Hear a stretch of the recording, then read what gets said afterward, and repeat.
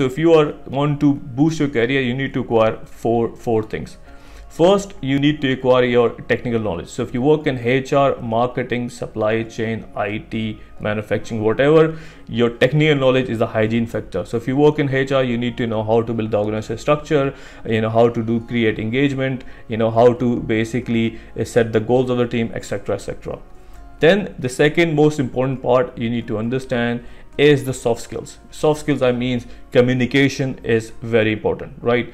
Both one to one through the use of emails whatever the electronic communication channels are right? You need to be a very good communicator crisp and sharp. If you're gonna talk too much people will not understand. Be be be bright be brief be gone the third is a leadership skill. So what i mean by leadership skills you have to be a genuine leader. You have to be creative. You have to lead by example right? You have to be visionary. Whatever how level you work you need to have a vision where you want to go right?